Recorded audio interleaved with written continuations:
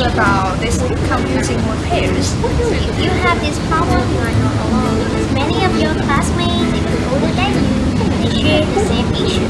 Let's check it out. 应该只有拿，只有对，这个是拿来吗？不太确定，嗯这样吗？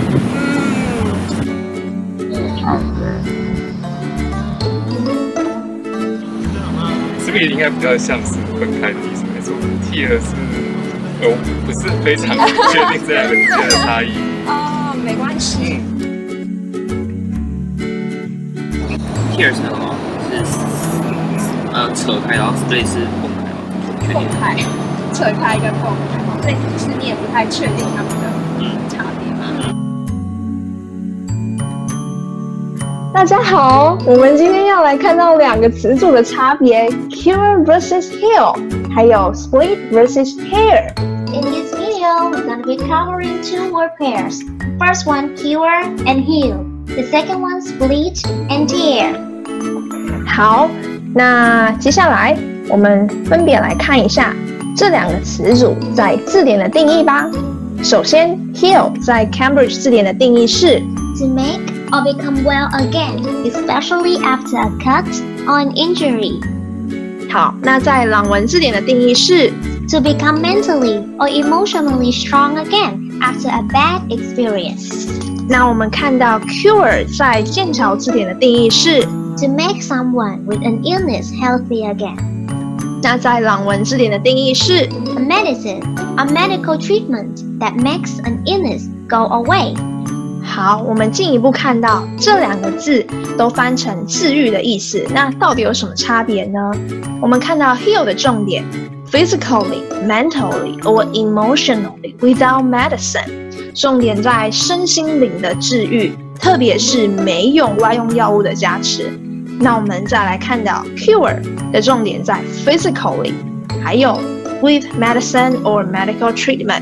它是身体上的得到治愈，特别是呢，你有用外用药物、医疗的加持。那接下来呢，我们来看一下他们在不同情境中的使用时机吧。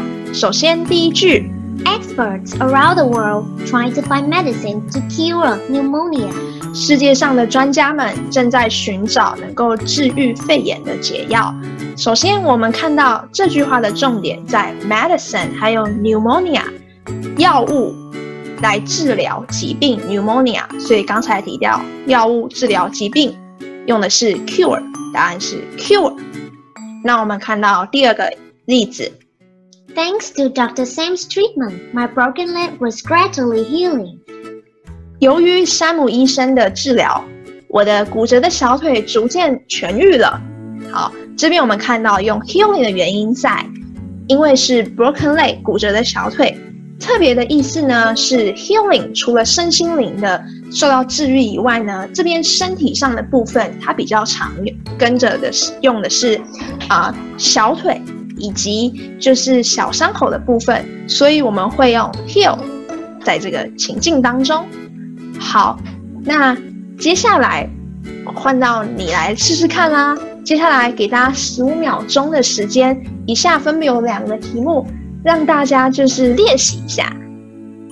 Number one, so far there's no treatment to cure or heal the disease. Number two, the feeling of heartbroken can be cured or healed as time goes by. 好，你写完了吗？我们一起来看吧。首先第一句，So far there is no treatment to cure the disease。这边的句子我们用 cure 的原因在，你看到重点了吗？disease 的 disease 疾病，你要治愈疾病，刚才提到嘛，疾病，所以用 cure。那第二个句子的重点在 the feeling of heartbroken can be healed as time goes by。the feeling 心碎的这个感觉会随着时间的流逝得到治愈，所以这边感觉心灵上的感觉我们会用 heal，这样懂了吗？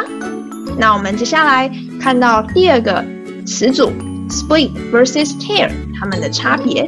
首先，我们看到 split 在剑桥字典中的定义是 To divide into two or more parts, especially along a particular line. 那在朗文字典的定义是 To divide or separate something into different parts or groups, or to be divided into different parts or groups.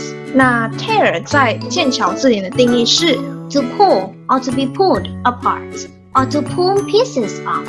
那在朗文字典的定义是 To damage something, such as a paper or cloth by pulling it hard.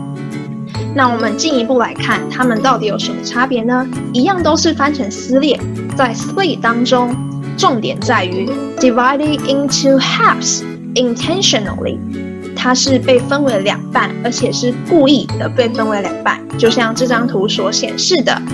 首先画一条直线，根据这条直线，你很刻意的想要把这张纸撕成两半，所以是刻意的情况下，把东西分成两半。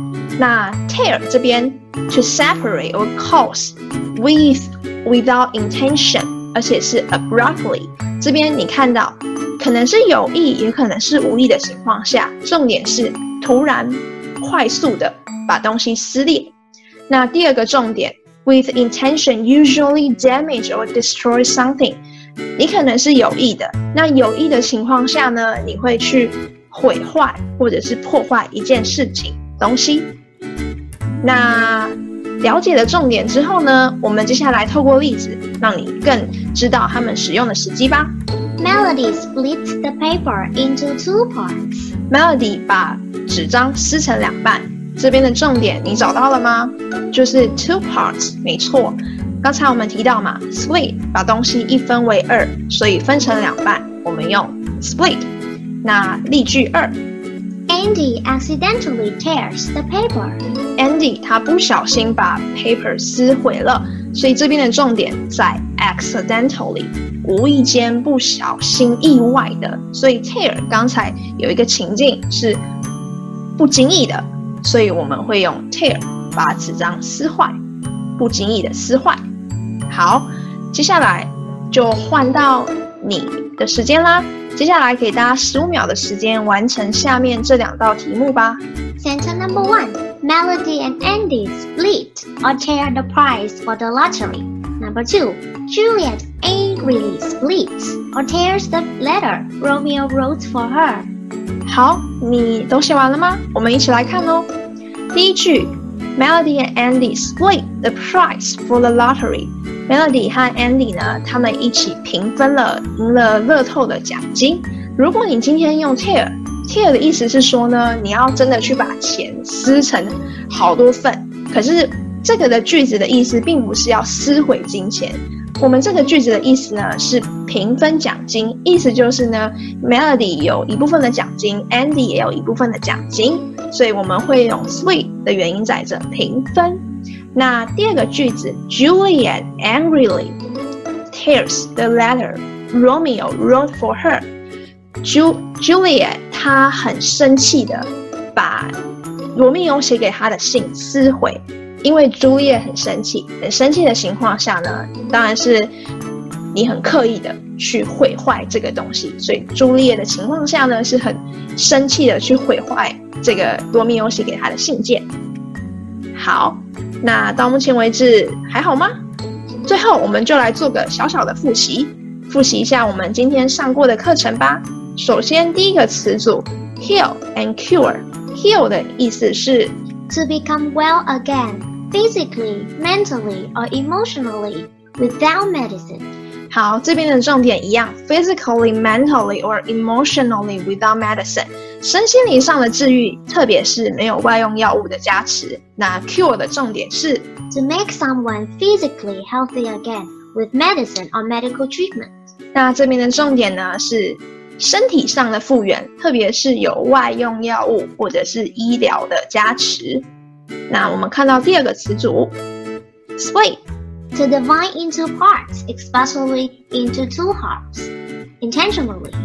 好，这边的重点呢是把它撕毁成两半，特别是你是刻意的、有故意的去做这件事情。那 tear To separate or cause to separate abruptly with or without intention, and when with intention is usually to damage or to destroy something. 这边的重点呢，在第一个小重点，你是很突然的， 可能是有意，也可能是无意的去把东西撕毁，或者是呢，第二个小重点，如果你今天是有意的情况下呢，你会去毁坏、破坏这个东西。那以上就是我们今天的两个词组，那你都学会了吗？那我们下次见喽，See you。